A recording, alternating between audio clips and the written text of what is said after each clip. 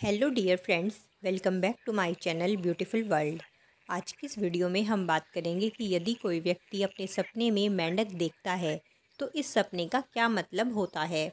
Video को आगे शुरू करने से पहले मेरी आप लोगों से रिक्वेस्ट है कि अपने सपनों का बिल्कुल सही मतलब जानने के लिए इस चैनल को सब्सक्राइब करें और साथ ही बेलाइकन को प्रेस करें।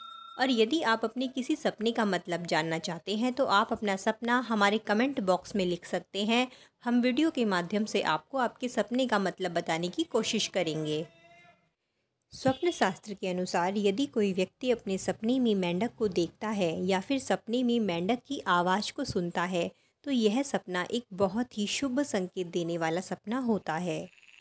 जिस तरह एक मेंढक ज़मीन पर और पानी पर दोनों ही जगह पर रह सकता है, दोनों ही परिस्थितियों में अपने आप को ढाल लेता है।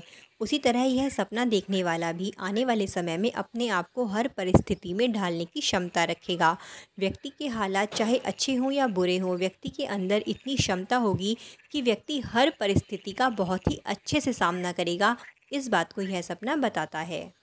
इसके अलावा यह सपना इस बात को भी बताता है कि आने वाले समय में व्यक्ति किसी नए काम की शुरुआत करेगा।